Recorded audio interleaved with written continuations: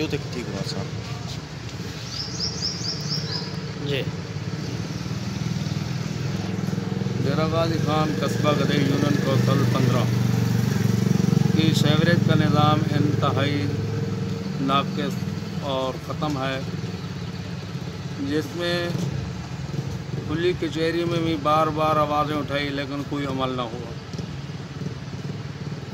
ہمارے افسر کہتے ہیں جو بھائی ہم تین لاکھ روپیہ چیئرمین یونین کوسل پندرہ کو دیتے ہیں، وہ کہاں خرچ کرتے ہیں؟ اگر وہ خرچ خرچ کرتے ہیں تو دیتے آپ ہیں، ان سے آپ پوچھیں جو کہاں خرچ کرتے ہیں۔ ہمارا کام تو ہے، ہم یہ بتائیں کہ ہماری سیوریج ناکام ہے، جگہ جگہ گندگی ہے، پانی ہے، آنے جانے کا راستہ گزشتہ یہ جمعہ پچھلا۔ ہمارے شاہ محمد شاہ مسجد، جامع مسجد کے ارد گرد پانی۔ جدھر پندرہ صفحے جمعے کو ہوتی تھی تین صفحے ہوئی ہیں، تین صفحے۔ لوگ واپس چلے گئے، آنے جانے کا راستہ بالکل معطل تھا۔ یہ سیوریج کا ہر روز یہی مسئلہ ہے۔ کنواں بند ہے ڈسپوڈل اس کی صفائی کے لیے کوئی نظام نہیں ہے۔ کوئی بھی افسر بات نہیں سنتا۔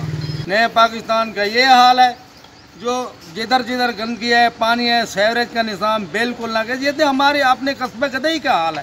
یہ تو پورے ڈیرے کا یہی حال ہے۔ کوئی ڈسپوڈل اور مین ہول کے ڈھکنے محفوظ نہیں ہے آئے گئے روز لوگ گھر جاتے ہیں، بچے گھر جاتے ہیں۔ روزانہ یہ پانی بھی پانی ہے، یہ کہاں سے پانی آ رہا ہے؟ آخر سیوریج کی صفائی کیوں نہیں ہوتی؟ یہ سیوریج کا نظام کیوں نہیں درست ہوتا؟ اتنا پیسے لوگوں نے کروڑوں روپے کے گورنمنٹ نے لگائے، یہ کہاں گیا ہے؟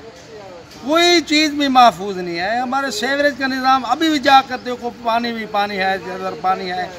یونین کوسل پندرہ کے ارد گرد جامع مسجد، ادھر ساتھ ہے، ادھر پانی ہے۔ جانے کا آنے کا راستہ نہیں ہے۔ ہم کہاں جائیں؟ کس کو